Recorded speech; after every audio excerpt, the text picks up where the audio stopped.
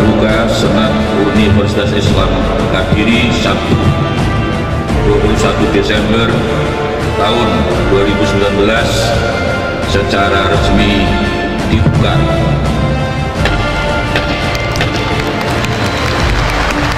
Ya menjadilah sarjana yang siap menghadapi era industri revolusi industri 4 keempat itu menunjukkan menuntut kecekatan, kecerdasan, kemudian eh, apa namanya ketulusan juga. Karena kalau orang tidak tulus nanti akan digilas oleh perkembangan masyarakat itu. Masyarakat punya caranya sendiri untuk mencapai tujuannya melalui IT-IT akan muncul di era industri 4 selamatlah.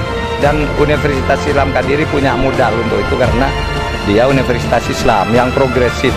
Universitas Islam yang dibina oleh Yayasan Cendikia Muslim Pancasila dia ada kanta Pancasilanya ada kata Islam. Bagus lah Baik, Assalamualaikum warahmatullahi wabarakatuh. Saya Emil Dardak, Wakil Gubernur Jawa Timur. Baru saja menghadiri wisuda, sarjana, dan juga magister di Uniska Yang diselenggarakan di Gorjoboyo dan dihadiri oleh Bapak Menko Polhukam. Dan tentunya kami merasa bangga bahwa Uniska menjadi sebuah lembaga pendidikan tinggi yang berkomitmen memajukan sumber daya manusia di wilayah terutama kita melihat di Mataraman ini punya potensi besar untuk maju ke depannya dan ekonomi di wilayah Mataraman, Kediri, Madiun dan sekitarnya ini tidak bisa mengandalkan 100% hanya sumber daya alam saja. Tentu harus ada nilai tambah baik itu nilai tambah yang sifatnya teknologi maupun juga kreativitas budaya dan seni. Oleh karena itu kita berharap bahwa dari Uniska bukan hanya punya kompetensi yang sifatnya teknis tapi juga soft skill.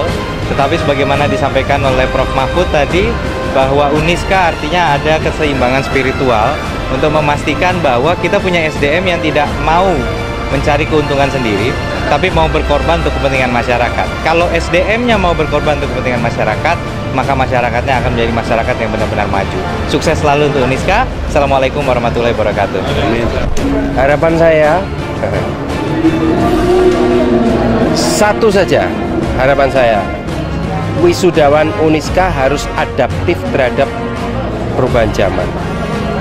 Saya yakin di sini uh, ilmunya bagus, ilmu agamanya bagus, pasti. Kalau keduanya bagus, pasti pasti sesuai dengan harapan Pak Mahfud menjadi intelektual. Nah, namun ke depan itu uh, banyak orang bekerja tidak pada bidangnya. Maka dari itu kuncinya adalah adaptif. Itu yang harus dipegang. Jangan anti terhadap hal-hal yang baru tapi kita harus adaptif. Nggak mungkin kita akan melawan melawan perubahan-perubahan karena perubahan itu adalah keniscayaan. Thank you